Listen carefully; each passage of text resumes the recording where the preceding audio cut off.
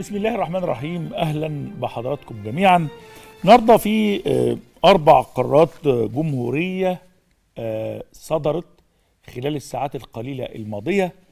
القرارات الجمهورية تعيين أو تجديد لمسؤولين كبار في الدولة.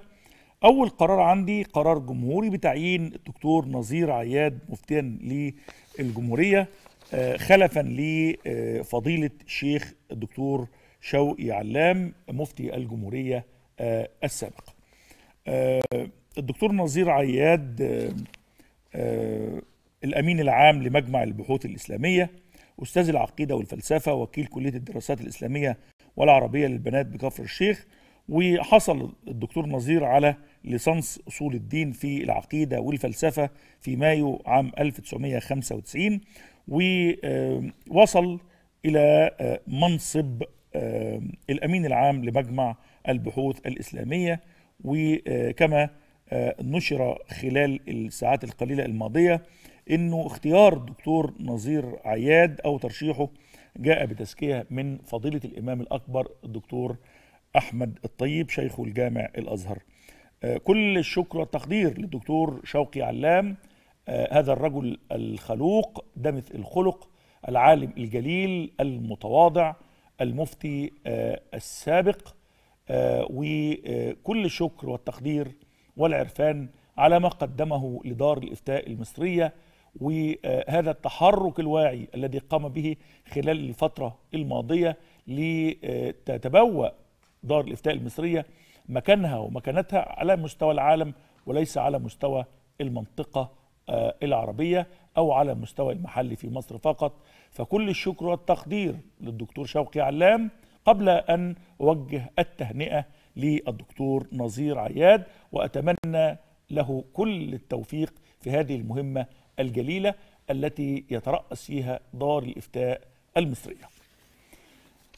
القرار الجمهوري الثاني هو قرار ب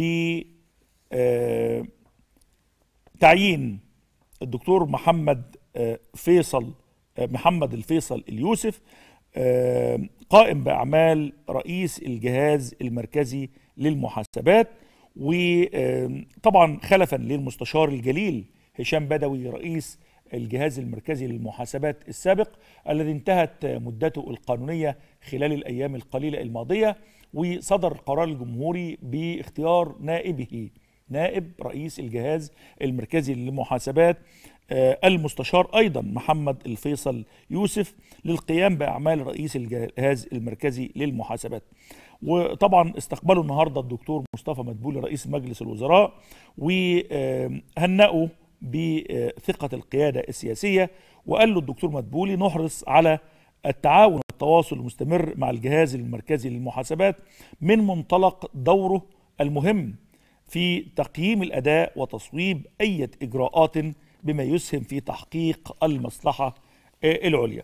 طبعا لابد أن آه، أشكر المستشار الجليل هشام بدوي الذي ترأس الجهاز المركزي للمحاسبات وانتهت مدته القانونية هذا الرجل الخلوق أيضا الجليل أيضا مستشار وقاضي جليل وأدار الهيئة أدار الجهاز في وقت حرج وهادئ وكان آه، آه، لمساته الإدارية واضحة دون صخب.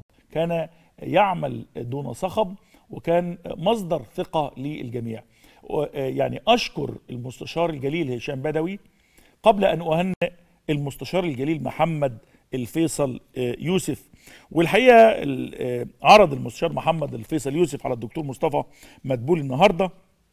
وبصفته كان نائب رئيس الجهاز المركزي للمحاسبات أبرز آه، أنشطة المركزي للمحاسبات خلال الفترة الماضية تطرق المستشار الفيصل إلى دور الجهاز في رئاسة لجنة حوكمة الاستثمارات العامة الكلية للدولة لتعزيز جهود حوكمة ورفع كفاءة الإنفاق الاستثماري في إطار برنامج عمل الحكومة لضمان الاستقرار الاقتصادي الكلي. طبعا الموازنة قالت إن الاستثمارات الحكومية لن تزيد على تريليون. مين اللي هيراقب؟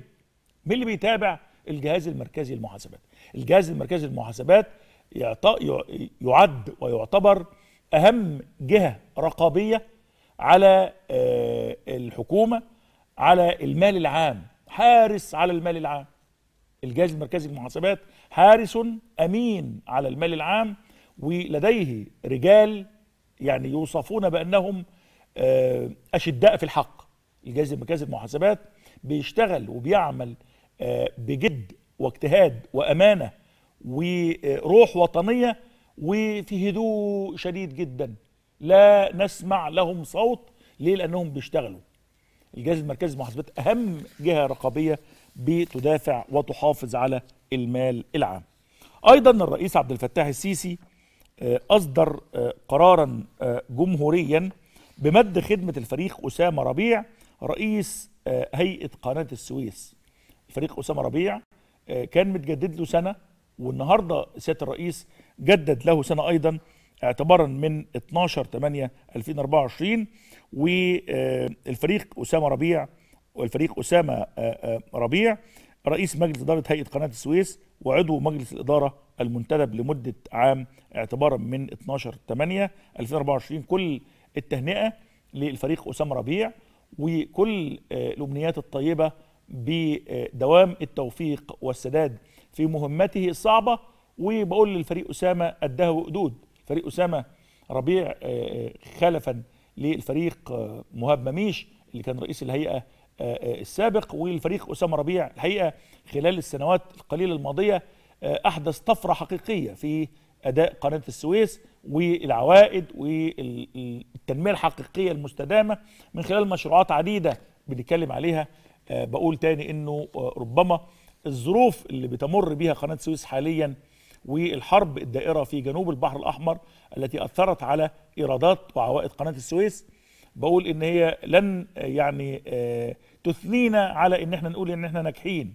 وقناة السويس الحمد لله خلال الفترة الماضية أصبحت يعني أهم ممر ملاحي في العالم لولا إنه التطورات الجيوسياسيه الموجودة وحرب غزة والحوثيين وأمن البحر الأحمر ومنطقة باب المندب وجنوب البحر الأحمر أثر على إيراداتنا وأفقدنا يعني فقدنا منها حوالي 6 مليار خلال الفترة الماضية.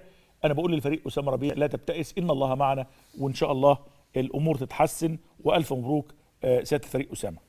أيضا القرار الجمهوري الرابع اللي أصدره رئيس الجمهورية الرئيس عبد الفتاح السيسي النهارده تجديد الثقة بالسيد وليد جمال الدين رئيسا للهيئه العامة للمنطقة الاقتصادية لقناة السويس لمدة عام ابتداء من 12 أغسطس الجاري وبدرجه وزير. يعني سيد وليد جمال الدين مستمر في منصبه كرئيسا للمنطقة الاقتصادية لقناة السويس وأعتقد إن هو خلال الفترة نشط يعني نشاط واضح جدا منذ أن تم فصل المنطقة الاقتصادية لقناة السويس عن هيئة قناة السويس اللي كان بيترأسهم الفريق أسامة الفريق مهاب مميش. النهارده عندي وليد جمال شاب ومجتهد ونشط وعنده أفكار خارج الإطار ويعني ابن المدرسة الجديدة في الإدارة إنجاز التعبير. وهو كان نائب رئيس أعتقد نائب رئيس الهيئة فيما مضى ومعاه ناس بيشتغلوا بشكل جاد جدا وعندهم عقل متفتح جدا وأعتقد إنه مساندة الهيئة الاقتصادية لقناة السويس واجب علينا كلنا. ليه؟ لأن دي أفضل منطقة استثمارية في ربوع مصر. مش بس كده أفضل منطقة استثمارية جاذبة. للاستثمار في المنطقة العربية هي منطقة قناة السويس.